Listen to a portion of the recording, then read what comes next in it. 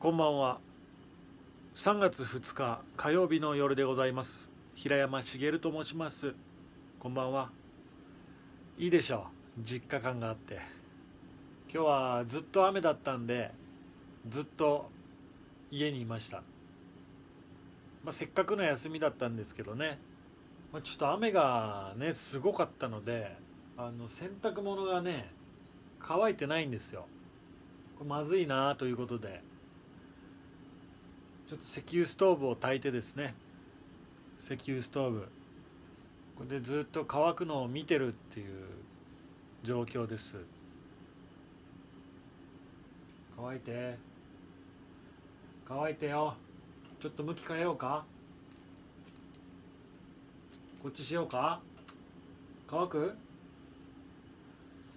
ちょっとこのまま1時間ぐらいいいですか？乾け。はい乾いて。乾いて乾いて。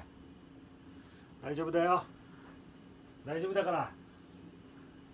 乾いて。さあこんな感じでお送りしておりますが明日またねちょっと冷えるというか気温下がっちゃうみたいなんで。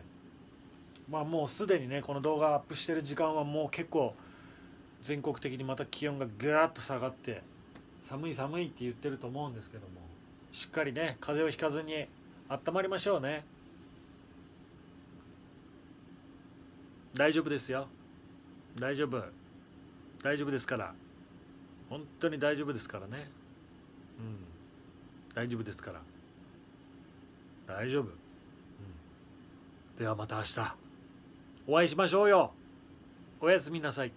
平山茂でした。